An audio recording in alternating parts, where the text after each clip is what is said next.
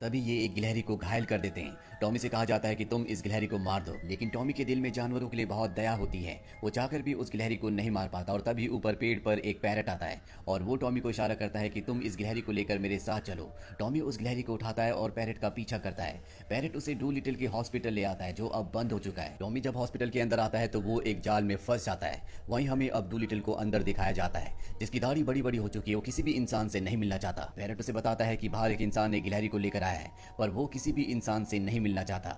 वहीं टॉमी को दिखाया जाता है जो जाल में फंस चुका है। और तभी अम्ब्रेला लेकर एक बहुत प्यारी सी लड़की उसके पास आती है, जो इंग्लैंड की राजकुमारी है, यानी कि वो इंग्लैंड की क्वीन की बेटी है। वो टॉमी को उस जाल से छुड़ा देती है और इसके बाद ये दोनों के दोनों हॉस्पिटल के अंदर आते हैं, जहाँ पर टॉमी हॉस्पिटल के अंदर जानवरों को देखकर डर जाता है। और इसके बाद वो डूलिटल को वो गिलहरी देता है जो घायल है। डूलिटल जब उस घायल गिलहरी को देखता है तो उसके दिल में दया आ जाती है और वो अपने जानवर साथियों से कहता है कि ऑपरेशन की तैयारी करो। सब उसकी इंस्ट्रक्शंस को फॉलो करते हैं। यहाँ पर जो चिंपैंजी होता है, वो गिलहरी को ऑपरेशन थिएटर ऑपरेशन टेबल पर लिटाता है और इसके बाद ये सब के सब मिलकर ऑपरेशन करना शुरू करते हैं। टॉमी देखकर बहुत इंप्रेस हो जाता है कि किस तरह से डूलिटिल जानवरों से प्यार करता है और वो तय करता है कि वो डूलिटिल के पास रहकर इस कला को, यानी कि जानवरों से बात करने की कला को सीखेगा। यहाँ पर जो राजकुमारी आई होती है, वो डूलिटिल से कहती है कि, रानी की, यानी कि मेरी मॉम की तबीयत बहुत ज़्यादा खराब है और वो तुमसे मिलना चाहती है। हालाँकि डूलिटिल अपनी पत्नी के मरने के बाद यहाँ से बाहर नहीं निकला होता, लेकिन जब उसे पता चलता है कि रानी की तबीयत खराब है तो वो रानी के पास अपने डॉग के साथ जाता है और अपने डॉग से कहता है कि रानी को सूंघकर बताओ कि उन्हें क्या प्रॉब्लम है। उसका डॉग रानी को सूंघता और उसे बताता है कि मैंने ऐसी स्मेल अपनी ज़िंदगी में कभी भी फील नहीं की। यहाँ पर डोलिटल देखता है कि एक एक्वेरियम है जिसके अंदर ऑक्टोपस है। वो उस एक्वेरियम के अंदर अपना मुँह डाल देता है और ऑक्टोपस से पूछता है कि बताओ यहाँ पर क्या हुआ था। ऑक्टोपस उसे बताता है कि रानी ने आखिरी बार चाय पी थी, जिसके बाद वो बीमार हो गई।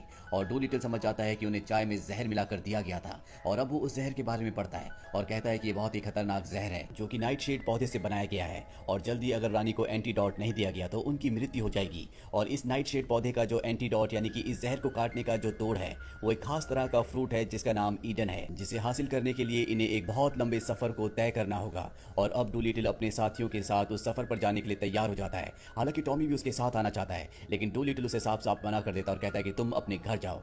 टॉमी अपने घर चला जाता है, और रात को जब वो अपने बेड पर होता है तो एक बार फिर से उसके पास पैरट आता है। उसके साथ एक जिराफ भी होता है, और पैरट टॉमी से कहता है कि तुम्हें उस सफ़र पर जाना चाहिए। टॉमी अपना घर छोड़ देता है और जिराफ के ऊपर बैठकर उस बंदरगाह की तरफ़ निकल पड़ता है, जहाँ से डूलिटिल अपना सफ़र शुरू करने वाला है। और जब वो उस जगह पहुँचते हैं तो डूलिटिल का शिप जा चुका होता है। यहाँ ऊपर एक टूटा हुआ ब्रिज होता है। टॉमी उस ब्रिज के ऊपर पहुँच जाता है और जब ब्रिज के नीचे से डूलिटिल का शिप गुजरता है तो वो उस पर कूद जाता है। हालाँकि डूलिटिल को बिल्कुल भी अच्छा नहीं लगता और उसका पैरेट बोलता है कि तुम इस सफ़र पर पूरी तरह से अकेले हो। इसीलिए मैं टॉमी को यहाँ पर ले आया। वहीं पर हमें राजमहल दिखाया जाता है, जहाँ पर लॉर्ड थॉमस, जो की रानी के चेयरमैन होते हैं, उन्होंने उन्हें जहर दिया था और उनके साथ उनका डॉक्टर भी मिला हुआ था। दरअसल ये जो डॉक्टर होता है, ये डूलिटिल को बिल्कुल भी पसंद नहीं करता क्योंकि डूलिटिल को अपने डॉक्टरी पेशे में बहुत ज़्यादा फेम मिला होता है। और अब चेयरमैन डॉक्टर से कहता है कि तुम्हें डूलिटिल को रोकना होगा। इससे पहले कि वो वापस आए, तुम्हें उसे खत्म करना होगा। और अब ये डॉक्टर अपने बड़े शिप को लेकर उसके शिप के पीछे जाता है। डूलिटिल उस शिप को देख लेता है जो कि एक वॉर शिप होता है और वो समझ जाता है कि ये शिप इनके ऊपर हमला करने वाली है। तभी वो एक बहुत बड़ी वेल मछली को बुलाता है, जिसकी मदद से वो अपना शिप लेकर यहाँ से निकल जाता है और अब वो पहुँच जाता है एक राज्य, जिस राज्य में दिखाया जाता है कि डूलिटिल के वॉन्टेड के पोस्टर लगे हुए हैं। और ये पोस्टर यहाँ के राजा ने लगवाए होते हैं, क्योंकि लिली जिससे डू लिटिल ने शादी की थी, वो इसी राजा की बेटी थी, जिसे वो यहाँ से भगा कर ले गया था। और अब डू लिटिल को इस राज्य से अपनी पत्नी की एक खास किताब चाहिए, जिसके अंदर वो मैप है जिससे इन्हें ये पता लगेगा कि ईडन फ्रूट कहाँ पर है। ये उस राज्य के राजमहल में पहुँच जाते हैं। डूलिटिल को पता है कि वो डायरी उस जगह पर है जहाँ पर राजा सोता है। यहाँ पर एक संकरा रास्ता होता है जिससे डूलिटिल नहीं जा सकता। टॉमी कहता है कि मैं अंदर जाऊँगा। वो अपना भेज बदल लेता है और ड्रैगन की मदद से किसी तरह से दरवाज़ा खोलकर वो उस कमरे में पहुँच जाता है जहाँ पर राजा बहुत सारे शेरों के साथ सोया होता है। वो धीरे धीरे डायरी की तरफ़ बढ़ता है। पर इससे पहले कि वो उस डायरी को हासिल करता ड्रैगन की वजह से राजा की आँखें खुल जाती है। वो नींद से जाग जाता है और न सिर्फ़ टॉमी को, बल्कि डूलिटिल को भी गिरफ़्तार कर लिया जाता है। डूलिटिल से राजा नफरत करता है, इसीलिए टॉमी को अपने साथ ले जाता है और जिस पिंजरे में उसने डूलिटिल को बंद किया होता है, वहाँ पर अपने खूंखार शेर को छोड़ देता है। वहीं टॉमी ड्रैगन फ्लाई से कहता है कि शिप में सभी जानवरों को बता दो कि हम पकड़े गए हैं। हमें मदद की ज़रूरत है।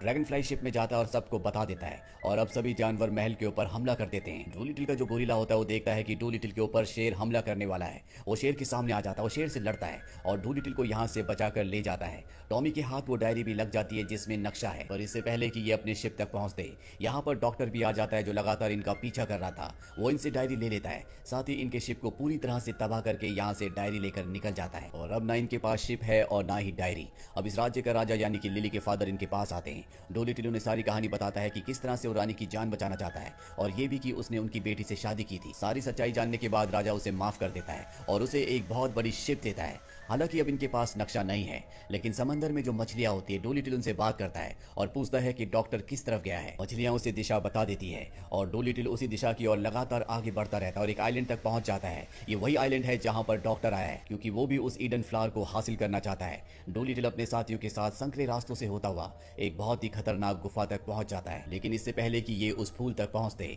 यहाँ पर जो डॉक्टर होता है, उसके साथ बहुत सारे लोग भी होते हैं, वो सब इन्हें घेर लेते हैं और अब डॉक्टर इन्हें मारना चाहता है, लेकिन तब ये देखते हैं कि पूरी गुफा में रोशनी होना शुरू हो जाती है।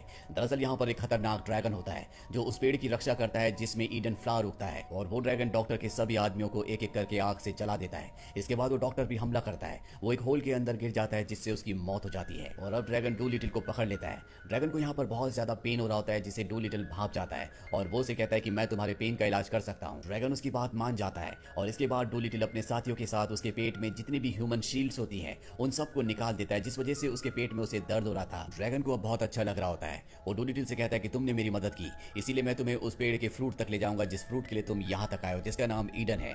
ड्रैगन इन सबको उस जगह ले जाता है, जहाँ से डोलीटिल ईडन फ्रूट को तोड़कर वापस राजमहल की तरफ़ बढ़ जाता है। वही राजमहल में दिखाया जाता है, जहाँ पर रानी की तबीयत बहुत ज़्यादा खराब होती है। वो अपनी ज़िंदगी की आखिरी साँसें ले रही है, और कुछ ही पलों में उसकी जान चली जाएगी। पर इससे पहले कि ऐसा होता डोलिटल अपने साथियों के साथ यहाँ पर पहुँच जाता है। यहाँ पर लॉर्ड थॉमस यानी कि रानी का चेयरमैन भी होता है, जिसने रानी को जहर दिया था। और जब वो डोलीटिल और उसके साथियों को देखता है, जिनके पास ईडन फ्रूट है तो वो अपने आदमियों से उन पर हमला करने के लिए कहता है। ये सब के सब इधर उधर भागना शुरू कर देते हैं? और किसी तरह से टॉमी फ्रूट को लेकर रानी के पास पहुँच जाता है और उसका जूस रानी के मुँह के अंदर डाल देता है, जिससे रानी बिल्कुल ठीक हो जाती है। रानी को कुछ भी समझ नहीं आ रहा होता कि उसके आसपास क्या हो रहा है। और तब डोलीटिल उसे बताता है कि आपका जो चेयरमैन है, यानी कि लॉर्ड थॉमस, उन्होंने आपको जहर दिया था, ताकि आपको मारकर ये खुद राजा बन जाए। इसी ने हमारे पीछे डॉक्टर को भेजा था, ताकि हम ये फ्रूट लेकर कभी भी यहाँ तक ना पहुँच पाए। और अब जब रानी को सारा सच पता चल चुका है। तो वो अपने आदमियों से कहती है कि इस गद्दार को पकड़ लो। लॉर्ड थॉमस को गिरफ़्तार कर लिया जाता है। रानी डूलिटल को थैंक्स कहती है। वहीं डूलिटल अपने सफ़र से समझ गया होता है कि उसे ज़िंदगी को जीना होगा। वो अपने हॉस्पिटल को एक बार फिर से खोल देता है और टॉमी, जिसने उसका हर कदम पर साथ दिया था, वो उसे अपने अंडर ट्रेनिंग करवाने का फैसला कर लेता है। हालाँकि टॉमी अब जानवरों से बात करना कई हद तक सीख चुका है। तो ये थी कहानी फ़िल्म